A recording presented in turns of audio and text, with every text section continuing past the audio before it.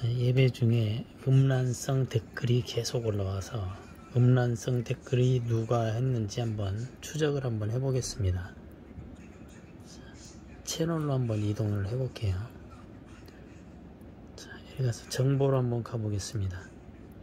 정보로 가봤더니 가입일이 2022년 8월 10일 어제 만들었네요. 어제 계속 올라오는 이 음란성 댓글을 지우고 신고를 했더니 아, 그게 없어져 없어지고 어제 새로이 만들어서 또 이렇게 음란성 댓글을 계속 달고 있습니다.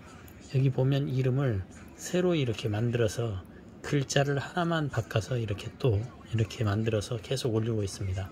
누굴까요?